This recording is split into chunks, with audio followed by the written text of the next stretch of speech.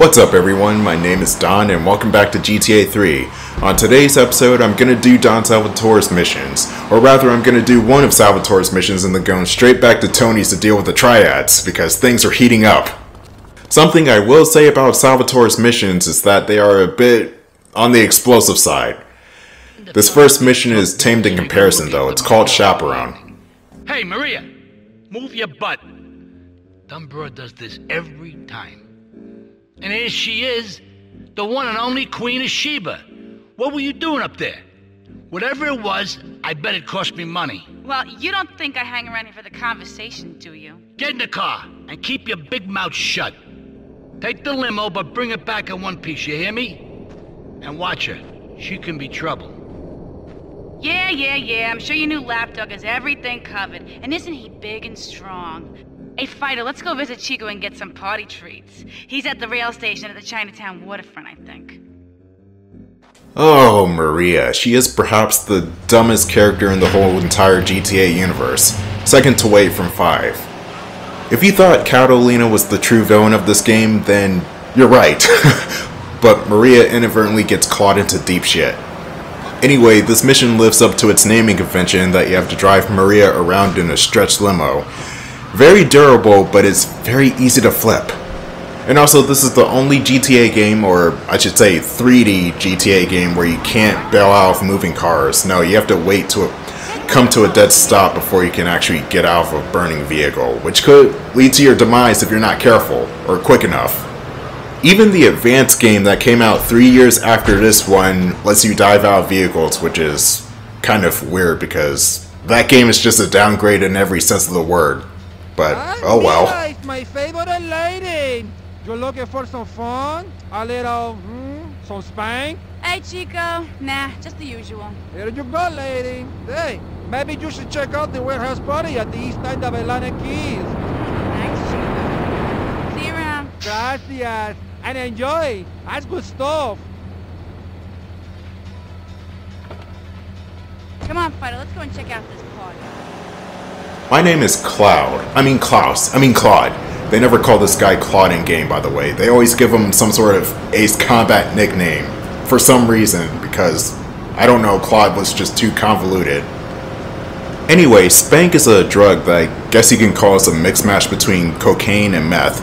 And that's really bad for Liberty City, and if I were CJ, you know damn well he'd be trying to get it off the streets as soon as possible. Spank is important to the plot, and there is one mission in the game later on where I swear I don't even know how this got past the 9-11 censorship, but somehow it did, and it's in the game. Our next objective is to take Maria to this party which is at the docks in this warehouse. Okay, why this stank ass warehouse? that, that is just the potential for anything sexual harassment related just went up tenfold. My name is Claude, and you really don't have a butt to shake.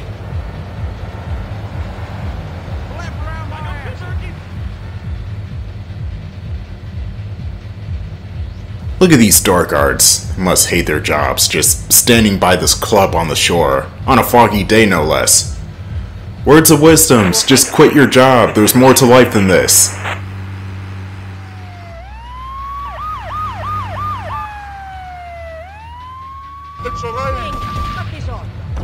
Ah shit, who called SWAT?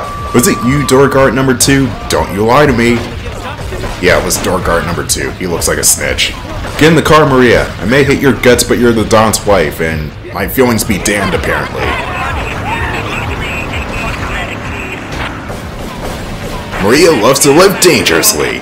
Is she is she high again? Oh, that is a dumb question. Of course she's high on Spank. The next part of the mission is to just get away from the cops. You don't even really need to go to the Pay 'n' Spray. You could just go to Salvatore's and you'll be okay. The cops aren't really that aggressive. And actually, I'm just getting more opposition from the cars that are getting away from the cops. get out of my way! And that guy I just ran over had like almost a thousand dollars, if not more, on his person for some reason. It's not like I need the money from a dead person since I'm getting paid throughout the entire game. And oddly enough, this is the only GTA game where you can actually get money from blowing up cars. Well, Okay, maybe not, since I don't even know if GTA 1 or 2 has that mechanic. I have never really played those games that much, so yeah, I'm just speaking strictly from this game forward. This is the only game where you can actually get money from blowing cars up.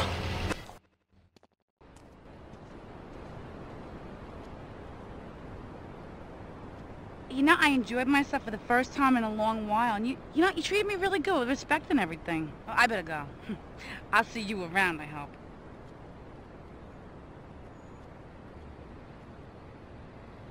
I still don't like you, but I'll take the 10k though. What I'm going to do now is finish up the last two Toni missions before I move on with Salvatore. The war between the Italian Mafia and the Triad is heating up and I'm the only one to stop it. Toni is right down the street, and the fascinating thing about Toni's next mission is that you actually have partners for this one.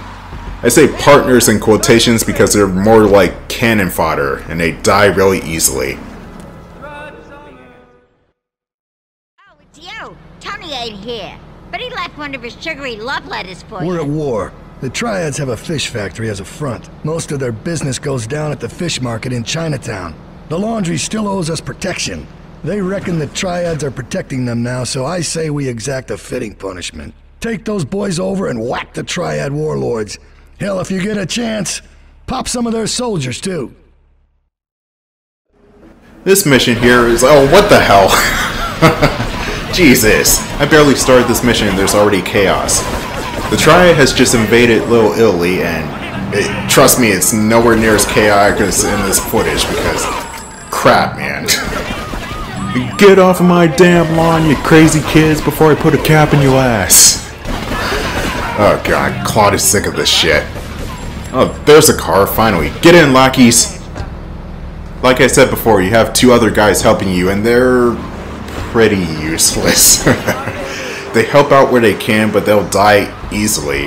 Good thing is, you don't have to keep them alive to keep the mission going. You could just leave them for dead, basically, and still complete the mission. So from this day on, I shall call them Donald and Goofy because of how useless they are.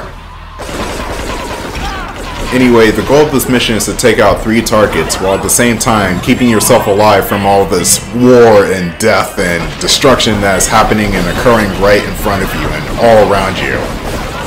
I'm not even gonna bother keeping my teammates around. That guy was rich too. God damn it, why can't I pick it up? The next target is in this parkway area. Quickly get this guy and get out, it can get dangerous. And because of the little pillars on the sidewalks, I need to shoot the triads on foot, which is not ideal because of the wacky aiming system. Oh god, get out of there! These guys have Uzis, and if you're far enough away, you can avoid them relatively easy, but be careful if you're close by them. There we go, not a scratch. I take that back. The last target is at a warehouse at the shore. You're going to need a triad fish van in order to get through the barrier. Oh yeah, I forgot, there's a barrier guarding the warehouse. And if there's too much chaos like what's going on right here, you could just exit Chinatown and then come back. This will despawn some of the mobsters and triads. And essentially give you a couple seconds of uh, wiggle room, I guess. What I should have done is go get health or body armor, but it all turned out good. I know what I'm doing. I've been playing this game since late 2002, early 2003. I'm not sure. I've been playing this game for a long time. That's that's pretty much what I'm getting at. It was not the first PS2 game I ever played though, like a lot of people. I think my first PS2 game was either Tekken 4 or Ace Combat 4. It was a Namco game. I, am not sure which one. It was on the Christmas of 2002, and I got those two games in particular, and I wondered to myself, five year old me was wondering, why does Santa Claus need to go to Best Buy? Because there was a Best Buy sticker on one of the boxes. Yeah, Santa Claus wasn't really a thing after age 5 because I caught on really quickly. He was more like a character from The Nightmare Before Christmas and Secret of Mana. But anyway, back on subject. You definitely need the Triad van in order to get through that security gate, which I don't know why they don't ins- inspect the vehicle any further to see that a white guy in the van instead of an Asian guy. but I digress. No, you stay down. I'm not risking you shooting me in the back. The last mission from Toni is called Blowfish. Okay, I've had enough of this shit. We're gonna finish the triads and Liberty once and for all. Eight Ball's rigged a dust cart with a bomb. It's on a timer, so if you mess up, there'll be no evidence. Go and pick up the dust cart. Careful. Eight Ball says it's real sensitive, and the slightest bump could set that thing off. Their fish factory will open its gates for a dust cart, so you can drive right in. Park up between the gas canisters and get the hell out of there. I want it to rain mackerel. We're talking real biblical here, nothing low budget.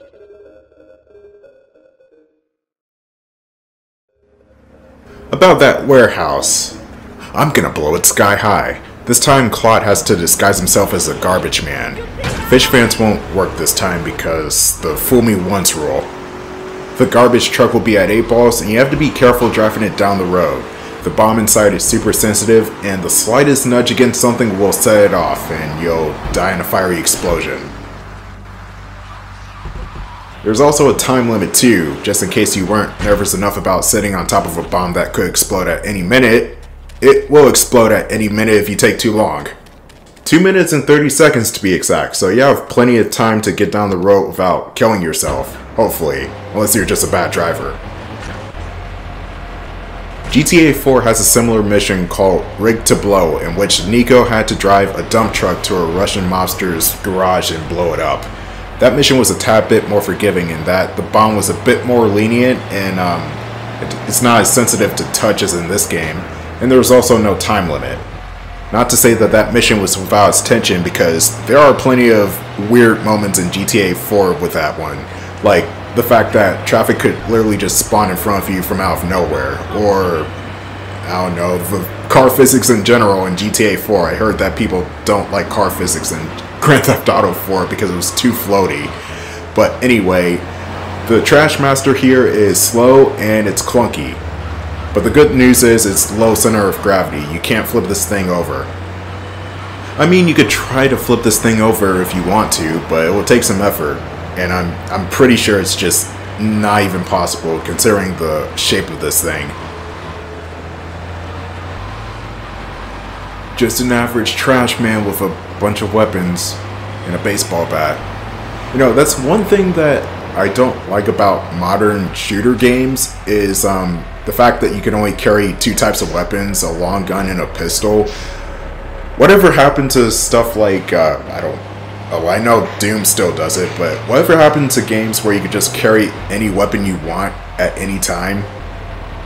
Come on, just give me two pistols, three assault rifles, a Moonraker laser, some throwing knives, and maybe a rocket launcher. Why does everything need to be Call of Duty with the two weapons thing? Excuse me, I'm trying to set up a bomb. Damn, rude ass triads. what you're supposed to do is drive into that blue marker and set the bomb by pressing circle and just get out of there as quickly as you can. Never put your fuel tanks in an exposed area where people can get to them. Anyway, back to Salvatore for the last mission of this video, which is cutting the grass. Wait, we're doing personal lawn work for Salvatore? What the fuck is this? Leave us alone for a minute. The Colombian cartel is making spank somewhere in Liberty, but we don't know where. And they seem to know everything we're doing before we do. We got us a rat. There's a guy named Curly Bob, works the bar at Luigi's. He's been throwing more money around than he's earning.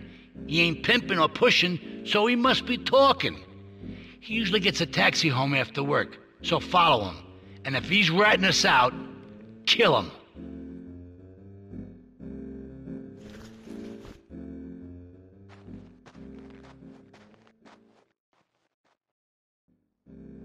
Claude's got that swag in his step.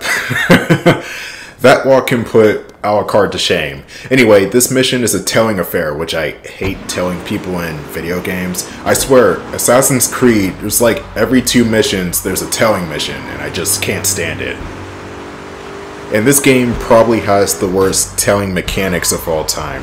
Basically, there's something called a spookometer, or spookometer. And what it is, is basically a bar that lets you know whether or not the guy sees you or not. And I swear that bar fills up so quickly if you just. If you're even near the dude, he's onto you. You could be a fair distance away and the bar will still creep up from out of nowhere and fail you the mission. You have to be at least a half a block away from the person you're tailing. GTA Vice City and San Andreas would unfortunately keep the spookometer for whatever stupid reason, because I guess people liked it. But I guess it was fixed because it was slower to move in those games, but still, you have to not be up close to the guy. Anyway, 4 just got rid of the spookometer entirely, and it went with a more obey the traffic laws set of rules, otherwise you'll get caught. Which I prefer more than a spookometer, because why would being close to the guy alarm him? Unless you're doing something stupid like honking the horn or crashing into stuff. But then again, I'm not a criminal nor am I paranoid, so maybe mobsters just live differently.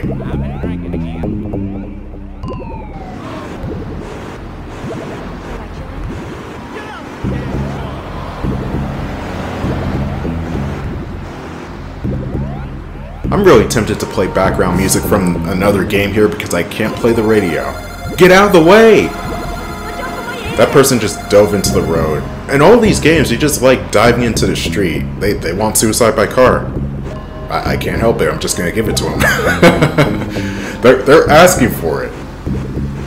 This Curly Bob character is going to meet that special somebody, and by special somebody, I mean Claude really wants to put a bullet in her face. It's Catalina!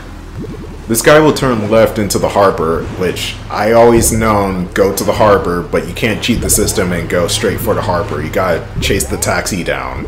For some stupid reason. Because tailing missions.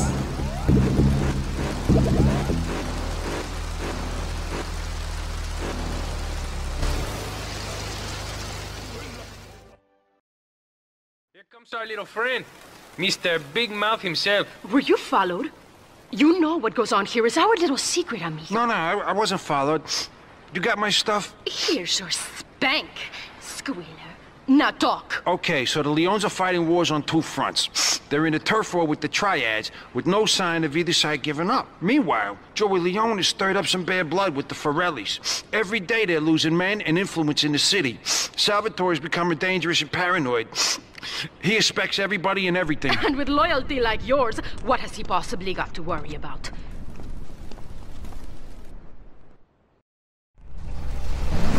Whack Curly Bob! Oh, you don't have to tell me twice. If you confront him on foot, you gotta be careful. He's got a shotgun. The mighty shotgun is to be feared. So I'm going to take the car with me. Couldn't even get a shot off. You, my friend, don't deserve the mighty shotgun. Anyway, I'm back with more videos. Thank God, it's been like a month. Thank you guys for sticking with me and um, being patient with my struggles and my bloated work schedule and me having to move to a different state. but I'm back. I'm back and I'm coming back on Wednesday with another GTA video, so there's that. So tune in for part 6 where I have to finish up Salvatore's missions.